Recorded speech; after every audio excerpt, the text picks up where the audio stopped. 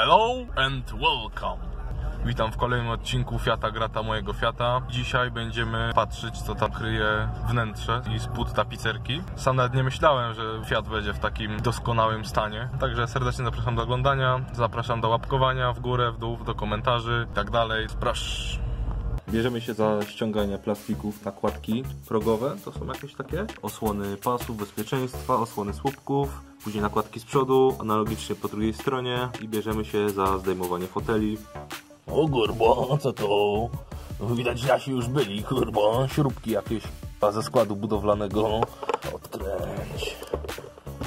Oh yeah. Czas zacząć wykopaliska archeologiczne. Najbardziej cenna rzecz, którą do tej pory chyba znalazłem. No i k***a, nieśmiertelne kapiszony też mamy. Kask odpustu. I jeszcze coś fajnego. Kółeczko od kluczy, proszę bardzo. Przy odkręcaniu śrubek trzeba bardzo ostrożnie to wszystko robić, gdyż śrubki wyglądają tak jak na załączonym obrazku. Są po prostu raz, że zarośnięte syfem, dwa, że są przywdzewiałe, bo cholera wie ile one tutaj w tym miejscu tkwiły, na nie tutaj woda, cały syf leciał, błoto jak ktoś tu wsiadał. Łepek śrubki trzeba sobie oczyścić, żeby dobrze śrubokręt tutaj do niej dolegał i odkręcać. Zobaczcie na różnicy w odcieniach tapicerki. Tu był plastik ten progowy. Tapicerka taka jak wychodziła w fabryce, nowiutka, piękna, czyściutka. Tu trochę z siedziska, trochę rdzy poszło. znaczy oby to była rdza. Nie wiem, co, to, co tu coś mogło kapnąć i przywdzewieć. Nie będziemy ją prać waniszem, a czy tam innym jakimś chlorem. Bierzemy się za demontaż przedniego fotela. Musimy go najpierw przesunąć na maksa do przodu, śrubki typu krzyżak i po prostu je trzeba wykręcić. Zazwyczaj w autach tu są albo jakieś torksy, albo zwykłe śrubki. Od przodu mamy nakrętki, od spodu trzeba odkręcić, klucz 13 i fotel powinien wyjść. Tu ktoś śrubki zamontował, jaki fachmeister. Po prostu chyba coś takiego ktoś wkręcił. One są jeszcze, bo one były zbyt szerokie i one zostały po prostu po bokach ścięte. Lata 70 80 pełną gębą, jakiś mechanior tu był, mawca.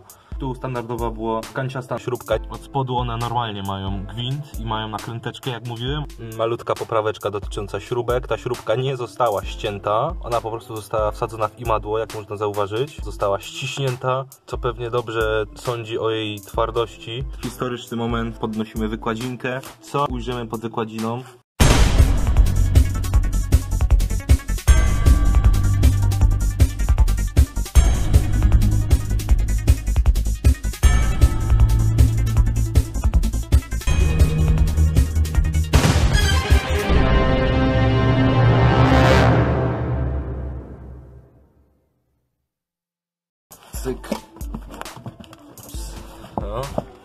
Zaczyna się dobrze.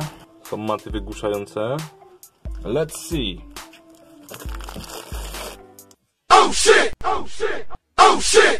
O kurwa, a co to? Co to się stało? Pan sprzedający powiedział, że to jest rodzyn, igła, kurwa, co to jest? Podłoga w moim garażu. Teraz wygląda lepiej.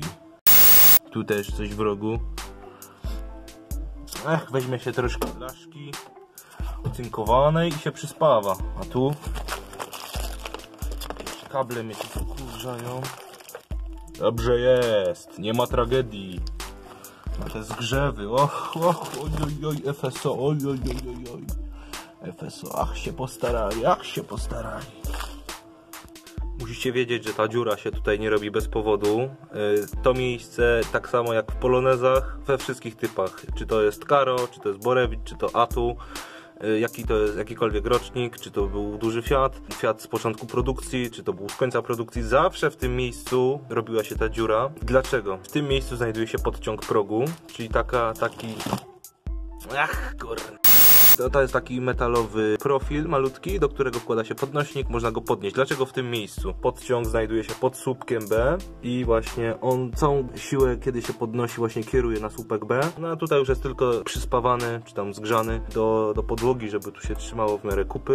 Rdzewie dlatego, że po prostu całe błoto, cały syf, cała solanka w zimie zbiera się właśnie w tym podciągu, magazynuje się w tym profilu i dookoła siedzi całe to bagno tutaj i dlatego to koroduje. Pokażę Wam na żywym organizmie, jak wygląda podciąg w Fiacie. Tu się właśnie w tą otwór się wkłada lewarek. Ten element tutaj łączy krawędź progu razem z podłogą. Właśnie ten element, co tutaj takie wybrzuszenie jego się właśnie zgrzewa bądź spawa do podłogi i właśnie w tym miejscu lubi to wszystko właśnie rdzewieć. tak to wygląda. W Polonezach jest ta sama podłoga co w Fiacie. Inżynierowie FSO nie byli zbyt kreatywni przy tworzeniu Poloneza. Także podłogę również zaadaptowali z dużego Fiata, jak i wiele innych rzeczy. Po prostu to jest kropka w kropkę ten sam element. Nie ma, że tutaj jest coś inaczej. To jest ten sam element, te same przetłoczenia, te same wymiary. Podłoga po prostu identyczna jest w Polonezie. Teraz zaglądamy do przodu. Jesteśmy na podłodze pasażera z przodu. O, jak się oddubię tą matę, która będzie pełny obraz jak wygląda podłoga. Ale może najgorzej nie jest, nie jest, nie najgorzej. O. Nawet widać, że komuś śrubka tu spieprzyła pod wykładzinę przy przykręcaniu fotela. Kiedy to musiało być. A tutaj mamy kolejny achievement. Jest to po prostu nic innego jak ten odcinek, co odpada jak się nituje nitownicą. Taki słupek. Ktoś pewnie nitował drzwi, które y, ktoś nitował po prostu parapeciki tutaj, które rozwiercałem nity i ściągałem. I to jest prawdopodobnie któryś tutaj z, z nitów. Ta śrubka jest nie do ruszenia. Będę ją tutaj pompował. Tu na górę daj trochę. Może puści. No kurwa. Nie takie śrubki majster wykręcał, kurwa. Co się nie da. Co się nie da, kurna. Nie takie śrubki majster wykręcał. O, proszę bardzo. Wynocha. Śmierdzielu, kurna. Wynocha. Dobra. Tu na szczęście ktoś zamontował prawilniaki. Wisienka na torcie. Patrzcie co znalazłem, gurba. Krzywy śrubokręt, idealny. Dildbag rozerwany już niestety. Patyczek po lodach. Patyczek po lodach, proszę państwa. Daj patyczek. Co to jest? Algidy pewnie. Niestety nie wygrałeś, graj dalej. Dobrze. Popatrzcie na to. Oh!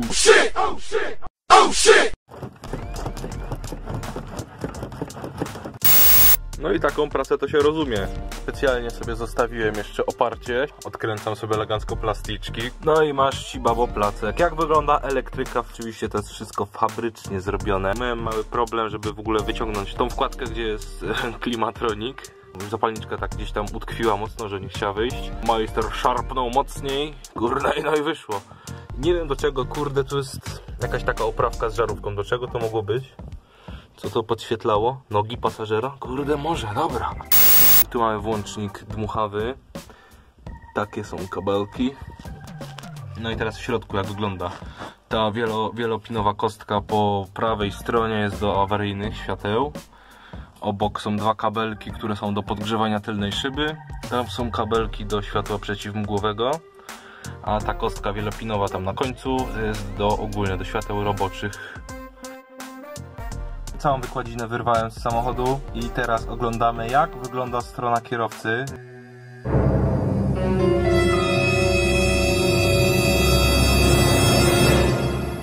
Jesteśmy z tyłu pasażera. Tak się prezentuje strona pasażera. No tu też będzie co robić. Ta strona również jest w wiele gorszym stanie. Całość się trzyma już tylko na tej gumie chyba. Nie wiem dlaczego tak się dzieje.